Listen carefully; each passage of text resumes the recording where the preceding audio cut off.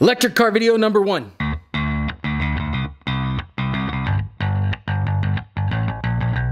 During this year and a half of working on this car, I have been filming pretty much everything.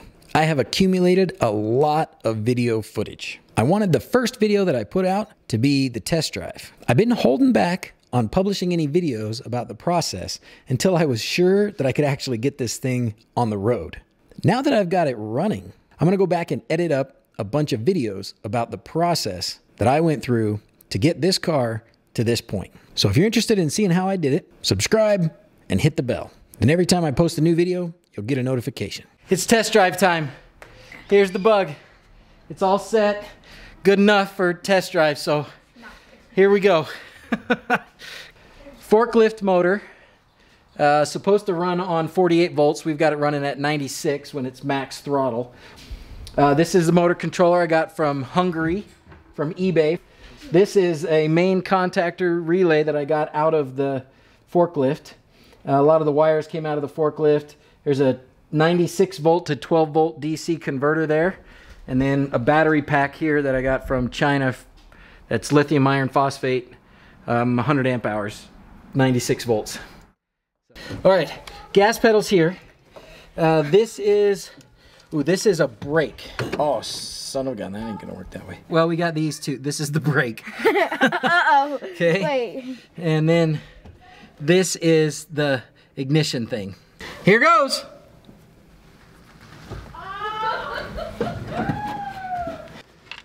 Gas pedal. Uh-oh.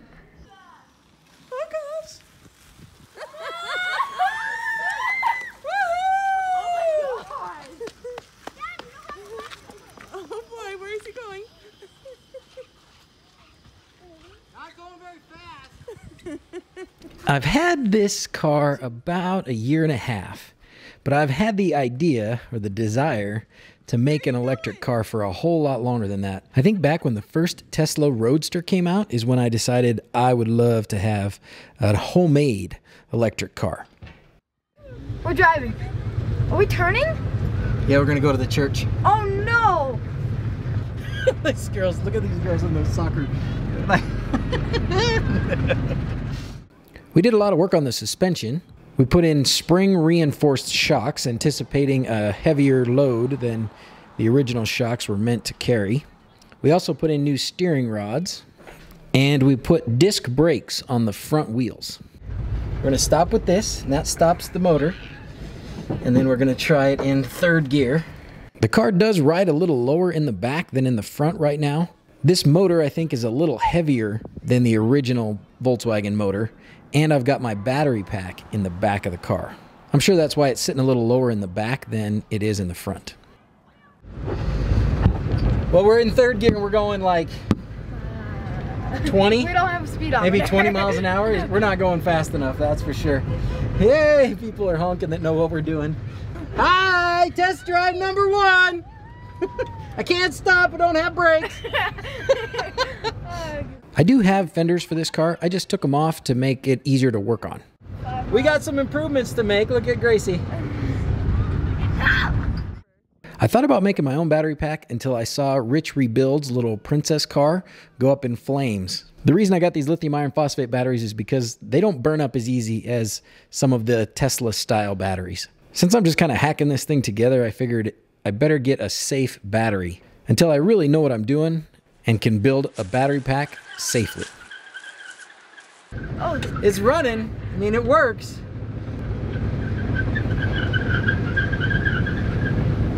The front wheels aren't very aligned. That's part of the problem here. The motor is out of a Hyster E50, whatever the heck that means. It's a big old forklift. Okay, now we're going to put it in reverse. Parts of the car are sanded down to the metal because my plan is to go bare metal. Sand off all the paint and all the primer, and then just cover it in a clear coat to keep it from rusting. I've seen a couple other cars like this with the bare metal finish. It looks awesome. Okay. And it didn't explode. wait. Hey, good job. Okay. Well, What's in here? we did it. You did it in a week. So I am concerned about how slow it was. It was not fast enough at all. In fourth gear, it really couldn't get going. And in third gear, it got going, but we only got up to about 15 miles an hour. I have an assumption about what the problem is with the speed. The motor controller has a current limiter. I think the weight of the car uh, has increased the demand of the motor enough that it's reaching the current limit of the motor controller. So I'm going to take the motor controller off. I'm going to play with that dial on the current limiter, try and just turn it up all the way and give it another run. And we also have a amp meter to test and see what the current draw actually is. Here we go. So we turned the uh, current limiter all the way up and went for another test drive and it was better, but we had the amp meter on the battery uh, cable coming out and going to the motor controller and it only got to about 150 amps. It should be able to go higher than that. So we think maybe our problem is that the batteries are just not made to put out more than 150 amps. So, back in the bug, gonna do my own little solo test drive. Uh, it's pretty fun. It's not as fast as I want, but I'm not gonna complain. So, all right, step on the clutch. Flip this, flip this. Okay, this is a, the uh, electric brake. So we're gonna put it in reverse and then let off this and we'll start going backwards.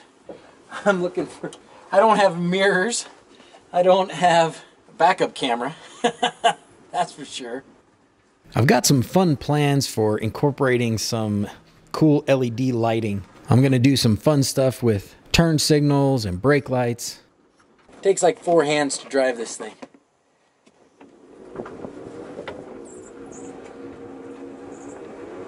If I want to switch gears, I got to flip this.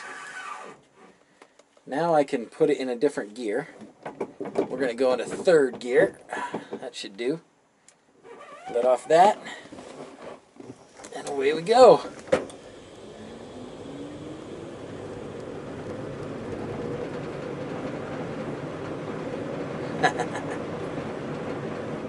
I love that it has a sunroof. And it works. I don't know what that was. I kind of like the lowrider seats. These seats I got out of a junkyard, out of a Saturn coupe of some kind. I like them. They're small, they fit well, they're comfy, they look good. I need to build up the bottom of them a little bit so they're not quite so low, but I will keep them kind of low. In an old bug with a gas engine, you get a lot of rattling and clanking, and you don't hear all of the other rattling and clanking that I'm now hearing in this thing. Anyways, here we go. I have a lot of the original parts for this car, like the chrome, the door panels, and a lot of the dashboard stuff, but I'm not going to use most of it. I'm not really going for the classic restoration on this one. And I'd really like to get some sort of computer system in the car. Maybe a Raspberry Pi with a touch screen or Android Auto on a tablet or something like that. And I'll use that to play music and also to get information about the car, like temperature of the motor, voltage of the battery, and anything else I think I might need. I paid $1,000 for the car. Between the shocks and the brakes and a few other things we fixed up, we put about another five or six hundred dollars into it, plus the 200 for the motor, the 250 for the motor controller.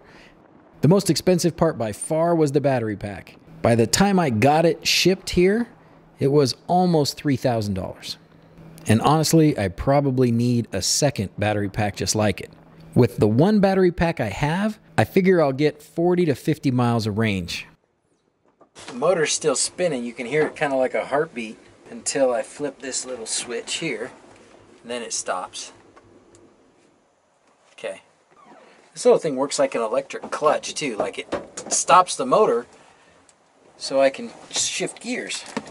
It's awesome. So I've worked on this for about a year and a half. And about a year of that, I spent just trying to get the motor mounted to the transmission. That was a lot harder to do than I expected. And the biggest problem is the size of this motor. It barely, barely fits. All right, I think that's enough. Turn it off now. Okay, all done. I can definitely smell a little more warmth. Eh, it's warm. It's not hot, but it's warm. Same here. This is just not ice cold like everything else around here. Motor's a little warm. That's it. Successful test drive. It didn't explode. well, that's it. Thanks for joining me on my first test drive. I still have a lot to do, but I'm dang happy with where I'm at right now.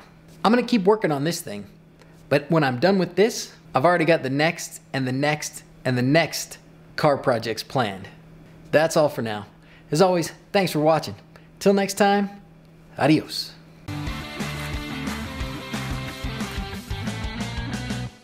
If you need help or want to chat with me or others who also enjoy projects like this, you can find us on Facebook and Discord.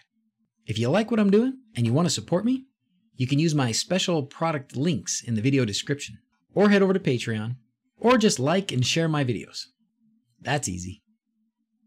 If you like this video and you want to see more like it, this box will take you to a playlist of some of my favorites. In addition to videos like this, I also do live streams every Sunday. This box will take you to a recording of the latest live stream. That's all for now. Adios.